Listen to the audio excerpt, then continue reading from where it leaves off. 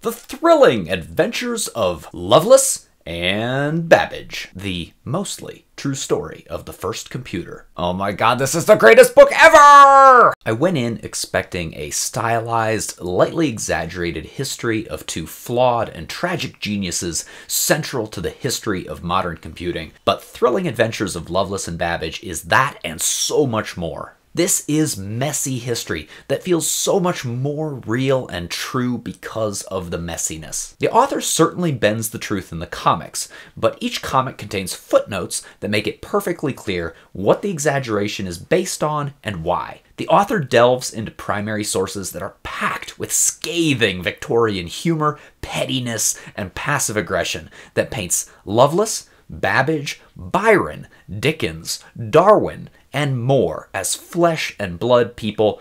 Far-sighted visionaries, yes, but also people who dominate the conversation at dinner parties or write blowhard op-eds, people who get their egos bruised, people who you can relate to. And not only that, but a world you can relate to, as so many similarities are shown with not the technology of the time, but our feelings about technology and progress. The world goes on at a smarter pace than it did when I was a young fellow. Why, sir, forty years ago, the looms went slowish and fashions didn't alter quite so fast. It's this steam, you see, that has made the difference. It drives on every wheel double pace, and the wheel of fortune along with with 'em. And through reading this book, I'm looking at the present through new eyes. We are absolutely living in the science fiction future of 1844. Here is a satire from that year making fun of the idea that machines could ever write novels. I defy you to tell me that there are not notes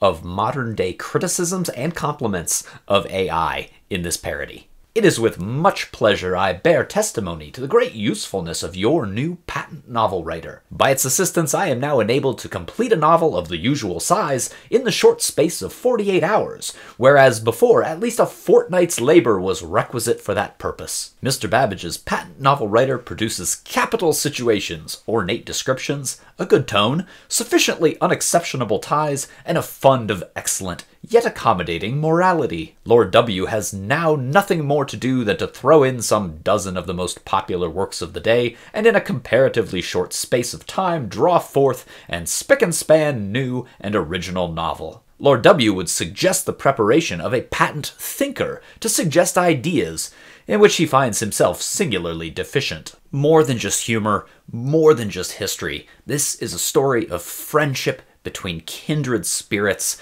It will amuse you, it will tug at your heart, it will intrigue. This book is phenomenal. My only criticism is for the publisher. Why is this book so hard to find? If your book is selling out, you need to make more copies. Are you allergic to money? What is your problem? But for the rest of you, find this book, go out and buy it. Do it.